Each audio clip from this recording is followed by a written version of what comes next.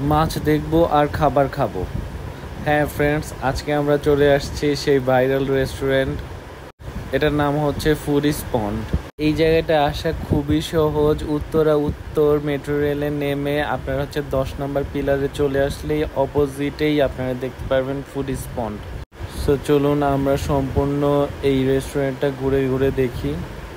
আমি একটু সকাল সকাল গিয়েছিলাম কথা হচ্ছে সকালবেলা গেলে ভিড়টা কম থাকে, ছবি ভালোভাবে তোলা যাবে ভিডিওস ভালোভাবে করা যাবে।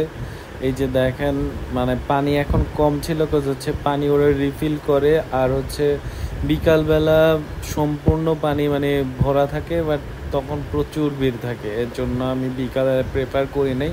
সকালবেলা এখানে চলে আসছি।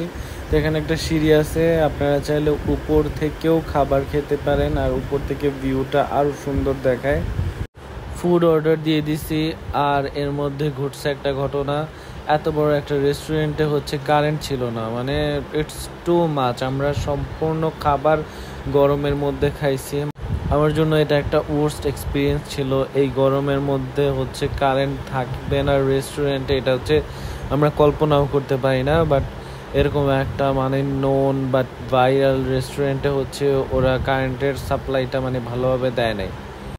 খাবার হ্যাঁ মজা ছিল বাট আমার কাছে সার্ভিস ভালো লাগে না কজ হচ্ছে এই মানে কারেন্টের কারণেই। আর পানিটা আরেকটু বেশি থাকলে আমার কাছে দেখতে আরেকটু ভালো লাগতো।